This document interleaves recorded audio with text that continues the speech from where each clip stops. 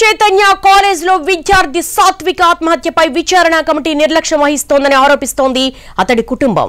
ఉస్మానియా హాస్పిటల్లో post mortem అయితే గాంధీ ఆసుపత్రిలో చేసినట్టుగా ఎందుకు రాశారని ప్రశ్నిస్తున్నారు. రిపోర్టులను తారుమారు చేయాలని చూస్తున్నారని ఆరోపిస్తున్నారు.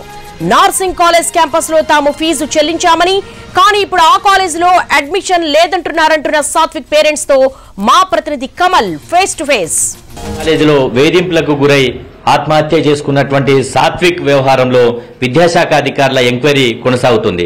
విద్యాశాఖ అధికారులు ఎవరు కూడా మమ్మల్ని సంప్రదించకుండా కమిటీ ఎవరు మమ్మల్ని అప్రోచ్ కాకుండానే ఒక నివేదిక తయారు చేయడం అందులో మీరు గుర్తించినటువంటి ల్యాబ్సెస్ మా ఉస్మానియా హాస్పిటల్లో పోస్ట్ మార్టం జరిగితే కూడా గాంధీ హాస్పిటల్ రాశారు. అంటే ఎట్లా చూస్తారు దీన్ని? ఈ కమిటీ ఎంత నిర్లక్ష్యంగా వివరిస్తుంది అనేది మనం దీన్ని బట్టి తెలుస్తుంది. ఎవరు మమ్మల్ని ఇంతవరకు ఏ కమిటీ అప్రోచ్ కాలేదు. ఎవరు అడగలేదు. వాళ్ళు ఇంత ఈజీగా ఈ గాంధీలో పోస్ట్ మార్టం రిపోర్ట్ చేశారని మాకు యాక్చువల్గా జరిగింది ఉస్మానియా హాస్పిటల్లో.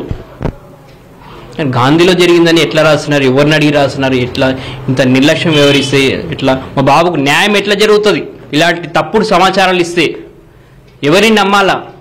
ఈ కమిటీని నమ్మాలా గవర్నమెంట్ నమ్మాలా ఎవరిని నమ్మాలి కాలేజ్ యజమాని కాలేజ్ వాళ్ళకు సపోర్ట్ చేసుకుంటూ ఇస్తున్నారా? ఏమీ అర్థం కావట్లేదు. కేసు తప్పుతో పట్టేయడానికి ఈ కార్యక్రమాలు చేస్తున్నారా అని. ఇంకొకటి సాత్విక్ను మీరు కాలేజ్లో అడ్మిషన్ చేపించిన సమయంలో ఇదే క్యాంపస్కి వెళ్ళారా? ఇదే క్యాంపస్లో అడ్మిషన్ ప్రక్రియ అంతా కూడా పూర్తి చేశారా? అవును సార్ నేను శ్రీ చైతన్య కాలేజు నార్సింగ్ క్యాంపస్కి మా బాబును అడ్మిషన్ కాకముందు వెళ్ళి ఒక వన్ వీక్ త్రీ టైమ్స్ వెళ్ళి ప్రిన్సిపల్తో మాట్లాడి అన్నీ చూసుకొని ఈ క్యాంపస్ కావాలని వేయించాం మళ్ళీ ఇప్పుడు మా బాబుది అడ్మిషనే లేదని చెప్తే ఈ వన్ ఇయర్ నుంచి కాలేజ్ ఎట్లా చదివినాడు? ఇది హాల్ టికెట్ ఎట్లా వచ్చింది? ఫీజులు ఎట్లా తీసుకున్నారు? ఈ స్టాంప్స్ ఎట్లా పడినాయి?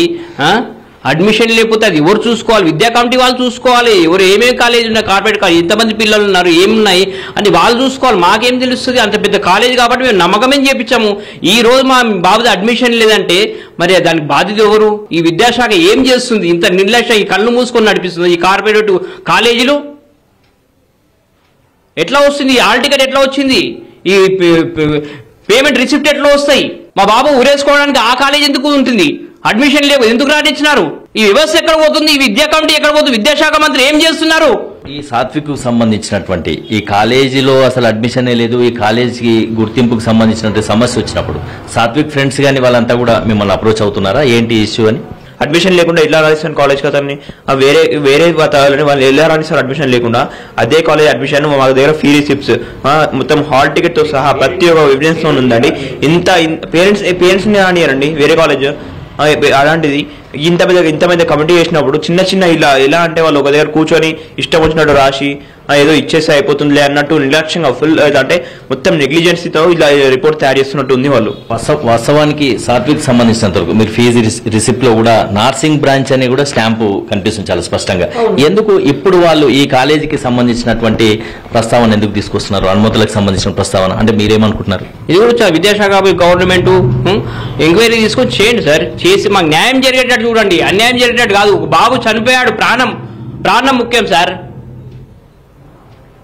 వాడు చివరి వాడి కోరిక ఇంకొకరు నాలాగా ఎవరు బలవద్దమ్మా అని వాడి చివరి కోరిక. మేము దానికోసం మేము ఇప్పుడు స్ట్రైక్ చేస్తున్నాము. మీరంతా కేసు అంతా తప్పుదోవ పట్టిస్తున్నారు. ప్రూఫ్ అక్కడ స్టూడెంట్స్ ఉన్నారు కదా. ఆ రోజు మాట్లాడిన స్టూడెంట్స్ అంతమంది ఉన్నారు. పిలిచి అడగండి. మరి ఇప్పుడు పేరెంట్స్ కూడా వాళ్ళకు డౌట్ వస్తుంది కదా సార్. మరి ఇప్పుడు మా పిల్లల్ని ఇట్లా గుర్తింపు లేని కాలేజ్ వేస్తే వాళ్ళు ఇప్పుడు భవిష్యత్ ఏంటి మరి? ఇంటర్ ఎగ్జామ్స్ ఎక్కడ రాస్తారు వాళ్ళు? హాల్ టికెట్స్ ఇచ్చారు. శ్రీ చైతన్య కాలేజ్ మీద హాల్ టికెట్ ఇచ్చారు. మరి ఎందుకు ఇచ్చారు వాళ్ళ కాలేజ్ కానప్పుడు? ఫైవ్ థౌసండ్ ఫీజు కట్టకపోతే గంట సేపు ఎందుకు నిలబెట్టారు? బయట వాళ్ళ బ్రాంచ్ కానప్పుడు వాళ్ళకి సంబంధం లేనప్పుడు.